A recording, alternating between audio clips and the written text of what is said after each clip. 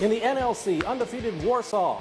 They're undefeated, I should say, in conference play. The Tigers ranked 11th in the state's 6A poll. Bart Curtis and company hosting an always tough Northwood team. Northwood throwing in the first quarter. That's Owen Roeder to J.J. Payne for a touchdown. 7-0 Northwood, but Warsaw. Watch this. Late pitch, but it's a thing of beauty if you like Bart ball. Bryson Brown with the touchdown, and it's 7 all.